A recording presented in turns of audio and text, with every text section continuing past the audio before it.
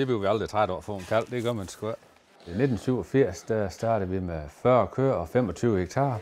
I dag der er vi så op på 200 køer og 280 hektar. Vi kom jo begge to fra landbrug, så for os var det jo, hvad du var en hver dag, øh, hele vores liv. Så det har været nemt at give videre til vores børn. Jeg vil gerne kendt i fjernsynet. Nå, Tilbage i 2017, der begyndte øh, mig og min far og mor at snakke om generationsskifte her på gården. Øh, og det har egentlig været en lang proces, selvom man ikke lige måske synes, at det var så svært. Så vi startede egentlig med at kontakte Lambolimfjord, og, og så kom der en masse spørgsmål ind. godt. Jamen, jeg tror, det er en gave. Jeg altså, tror virkelig, det er en gave. Øh, at have, have sin familie så tæt på. Og jeg tror egentlig, at det har været...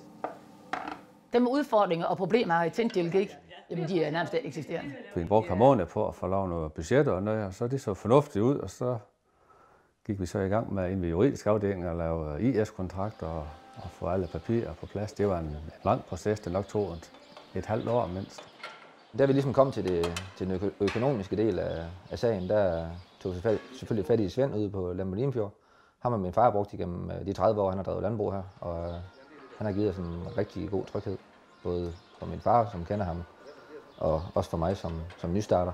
Så jeg regner også med, at jeg bruge ham fremover. Jamen, generationsskifte, altså, jeg tænker sådan, de har ændret mig hver dag, som altså Anne Emil, han jo så er her hver eneste dag. Det vi egentlig ville frem til med generationsskifte, det var egentlig, at vi måske alle sammen skulle have en bedre hverdag, både familiemæssigt og arbejdsmæssigt.